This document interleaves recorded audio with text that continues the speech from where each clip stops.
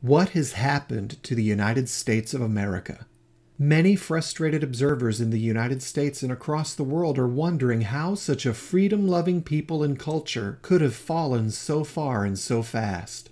How could a nation founded through a fiery Declaration of Independence and hard fought secession from a tyrannical empire have degenerated to the point that its federal government has claimed the power to lock people in their homes, declare their small businesses non essential, and shut those businesses down in order to funnel remaining economic activity into the coffers and control of mega corporations and billionaire elites?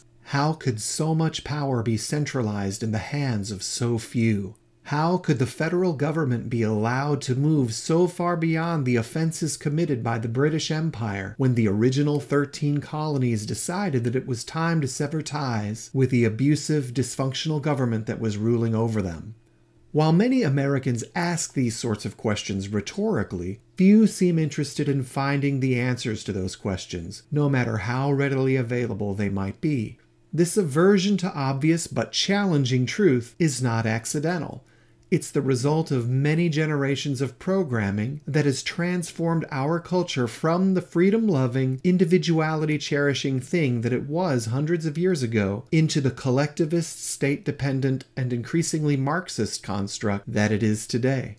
This transformation began many generations ago, long before anyone watching this video was even born. Somewhere between the Declaration of Independence and the Washington, D.C. enforced lockdowns that began in 2020, the federal government and its corporate sponsors were able to amass power and control, the likes of which would have never been tolerated by our founding fathers. And on that not so happy note, I need to pause here. This has been the first two minutes of a new video, part one in a series aimed at exploring the origin, nature, and purpose of the Pledge of Allegiance. The full video is just over 11 minutes of details, pictures, and history that will probably be shocking to many, but I hope helpful as well. I'm only posting the full video on YouTube at the Hellrazer Report channel, which I've linked to in the description below. Please check it out and subscribe to the Hellrazer Report channel if you like the full video, since that's where I'll be posting all full versions of future installments from the new American History series. Thanks for your interest in these things, and be sure to click on that link in the description.